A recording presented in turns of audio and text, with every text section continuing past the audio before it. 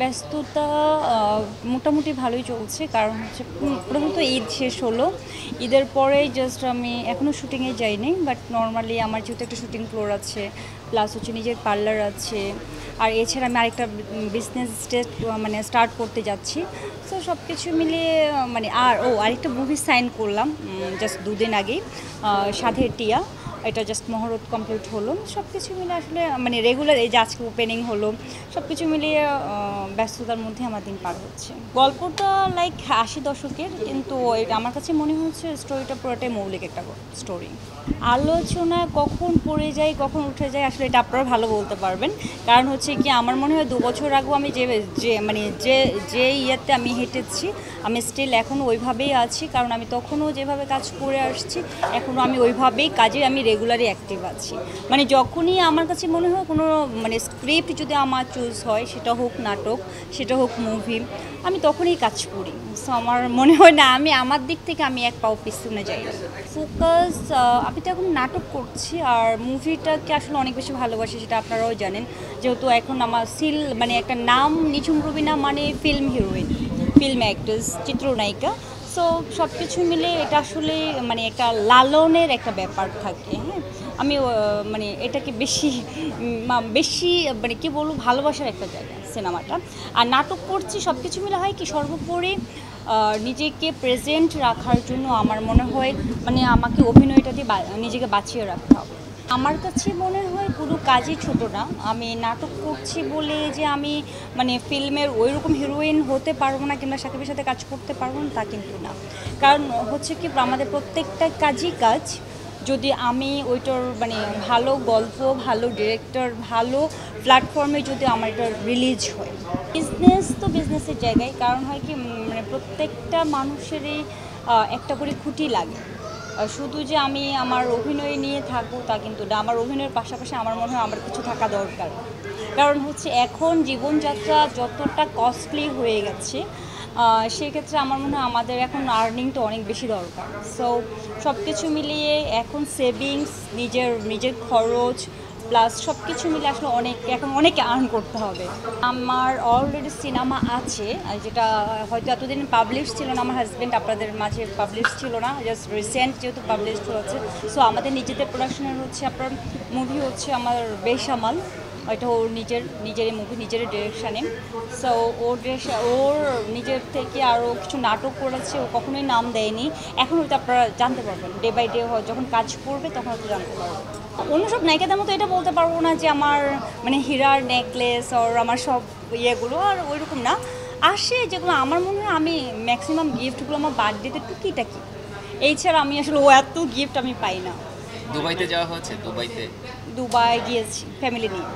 শেখদের কাছ থেকে কোনো না না সরি সত্যি বলতে ট্রাস্ট মি আমি কোনো শেখরে চিনি না।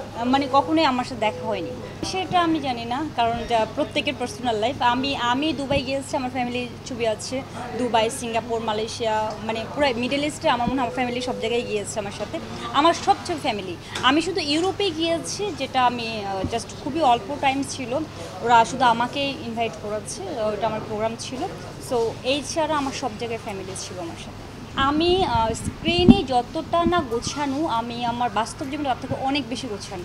অনেক বেশি আর্ন মিনস বোঝাতে চাচ্ছে আমাদের লাইফ স্টাইলটা অনেক বেশি কস্টলি সো দেখা গেছে একটা প্রোগ্রামে গেলাম, একটা ড্রেস পরলাম, ওই ওই ড্রেসটা কিন্তু অন্য প্রোগ্রামে পরা যায় না। সো আমাদের, তার মানে আমাদের মাসে যদি চারটা প্রোগ্রাম থাকে, আমার চারটা, দেখা গেছে এক একটা ড্রেস বিশ হাজার মানে মিনিমাম বিশ।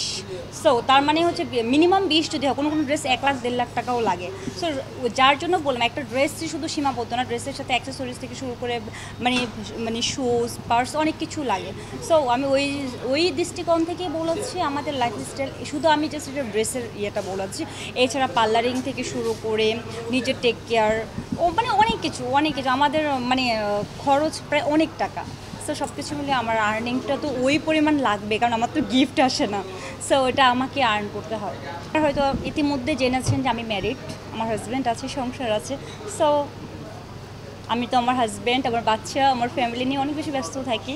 আমার মনে অন্য ফ্রেন্ড সার্কেল কিংবা বয়ফ্রেন্ড কিংবা ফ্রেন্ড আমার তো ওইভাবে আসলে কেউ নেই। সো আমাকে কেন গিফট দিবে? আর একটা গিফট কেন দিবে? আমার অ্যাটলিস্ট ফোর থেকে ফাইভ লাখস তো আমার খরচে আছে। মানে আমার বেবি প্লাস হচ্ছে আমার হাজব্যান্ড আমার গাড়ি, বাড়ি, নিজের মেনটেন্যান্স চার থেকে পাঁচ লাখ টাকা আমার খরচ আছে। আসলে চার পাঁচ লাখ টাকা যদি খরচ আমাকে অ্যাটলিস্ট তো আমাদের মান্থলি এইট থেকে টেন লাখ টাকা সেভিংস করতে হবে। তারপর খরচ বাদ দিয়ে। জায়েদের সাথে তো অলরেডি করেছি আর হচ্ছে জায়েদের সাথে আমার দুইটা মুভি অলরেডি হয়ে গেছে। মানে যদিও আমাদের আমাদের একটা মুভিতে ছিল, যা জান রেতে ওর হাজব্যান্ডের ক্যারেক্টার ছিল। আর হচ্ছে জাস্ট কয়েকদিন আগে আমি লিপস্টিক ছবিতে করেছি আমি আর জায়েদ গেস্ট ক্যারেক্টার আর এমনিতেই শুট করেছি সো কেন করব না? অবশ্য- অবশ্যই করব। আসলে আমার, আমি আর্টিস্ট আমি ওয়ার্ল্ড ওয়াইড আমি যদি আমার সাথে স্ক্রিপ্ট অ্যান্ড হচ্ছে কস্টিউম সব কিছু মিলে যদি আমার সাথে মিলে, আমি অবভিয়াসলি কাজ করব। ও সেট ডিগবাজি, ওটা তো ওর, এটা তো ওর, ও কীভাবে ডিগবাজি খেয়েছে সেটা ও পারে। দ্যাটস ওয়াই সবাইকে দেখিয়েছে ও ডিগবাজি খেতে পারে অন স্পটে আর হচ্ছে জায়েদ আমার খুব ভালো ফ্রেন্ড অ্যান্ড হচ্ছে কি ওর সাথে কেমিস্ট্রি যা ভালো বন্ডিং থাকলে আমার মনে হয় যে কারোর সাথেই কাজ করে কাজের সিংটা অনেক ভালো হয়। সো সেই হিসেবে বলতে পারি জায়েদের সাথে আমার সিং ভালো সো কাজ করে আমাদের মানে ইন্টিমেসিটা ভালো হবে। না না, কারণ ওটা তো আমার ইয়ে ছিল না, ওটা তো কী বলো একটা থাকে না যে অনেক অডিয়েন্স অ্যান্ড হচ্ছে একটা সেট বানিয়েছে যে প্রোগ্রামগুলোতে স্টেজ পারফর্ম করলে সেই ডিগবাজিটা দেখায়। আমার মনে হয় স্টেজের বাইরে কোথাও ডিগবাজি দেখিয়েছে কিনা আমি জানি না। আর শোতে দেখেছি আমি একটা। কিন্তু হচ্ছে কি নর্মালি নর্মালি না, আমাদের ওই সেটে ওর কোনো ডিগবাজি খায়নি আসলে নায়ক তো মানে এটা আসলে অন্য জিনিস। এটা সে যেহেতু মুভি করেছে অবভিয়াসলি সে নায়ক, সে হিরো কারণ হয় কি, এটা এটা এক একজনের, হয় কি, কেউ পছন্দ থেকে ওকে হিরো বলবে, কেউ ওকে পছন্দ করে না, যার জন্য বলবে সে সে আমাদের বিনোদনেরও একটা জিনিস হয়ে গেছে। না, ও আমাদেরকে খুব মজা দেয়, বিনোদন দেয় সবাইকে। আর ও অবভিয়াসলি ঘাটতি মিনস আসলেই হয় কি জায়েদ, আমার কাছে মনে হয় ভালো একজন সংগঠক।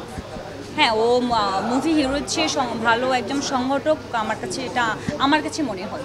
কারণ সে সবার সাথে লিয়াজুটা খুব ভালো মেনটেন করতে পারে। সে মানুষের তার আন্ডারস্ট্যান্ডিংটা ওই দিক থেকে খুব ভালো করতে পারে সবার সাথে। সে সবাই সাথে থাকে না, অনেক অনেকেরই সে একটা নেতা। এক কথায় বলতে পারেন যে সে একজন নেতা।